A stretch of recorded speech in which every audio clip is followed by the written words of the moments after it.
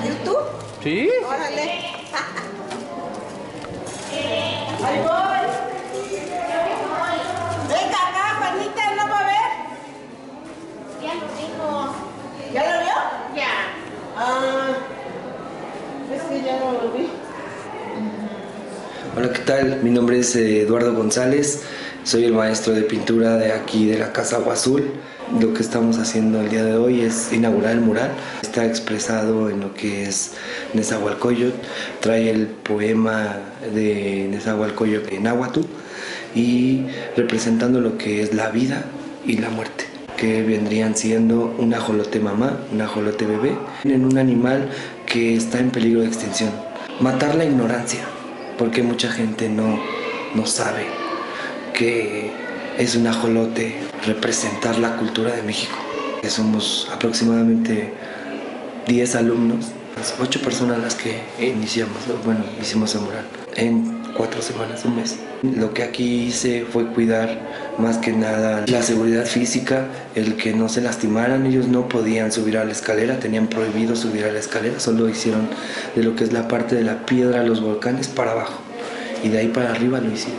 Lo que buscamos aquí es enseñarles a la gente de la tercera edad que no son un mueble o una carga más, sino que son personas talentosas, las que todavía hay más madera eh, que seguir trabajando.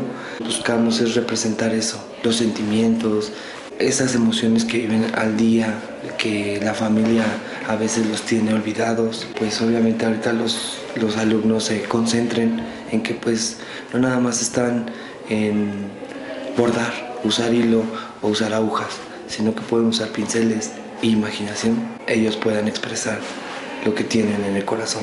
Esto de la pintura no es barato y pues la gente que sigue conmigo es gente que ha dedicado tiempo, dinero y esfuerzo y que sabe valorar lo que están haciendo hoy en día. Nosotros representamos más que nada lo cultural. Esta sería nuestra cuarta exposición.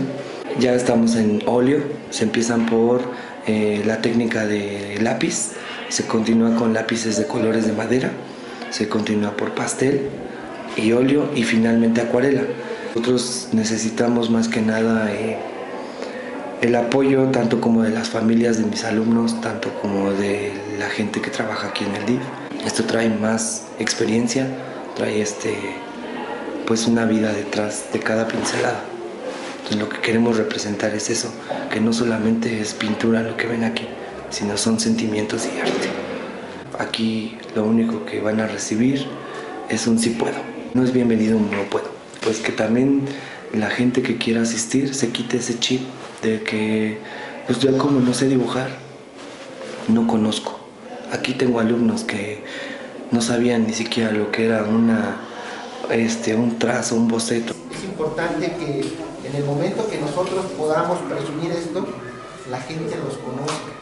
Pues sí podemos nosotros eh, tomar de esa fuerza que ustedes nos inyectan para poder salir adelante y que veamos que no hay momentos para demostrarle a la gente que podemos ser mejores.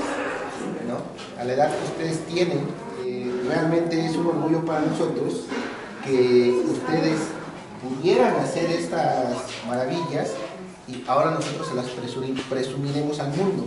Y que tenemos gente tan maravillosa como ustedes, que a pesar de la edad que tienen, son capaces de hacer estas cosas tan bonitas y muchas cosas más que es el organizarse.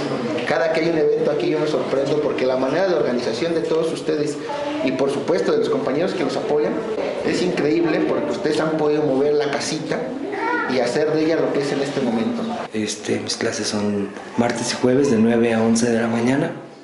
Mi nombre es eh, Eduardo González, egresado de la, del Centro Cultural Liste, una persona que odia las injusticias, que sabe valorar el trabajo de los demás.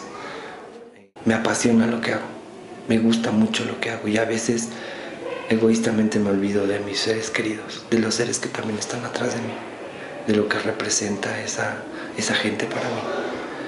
Y que pues obviamente este, no lo hago con esa intención,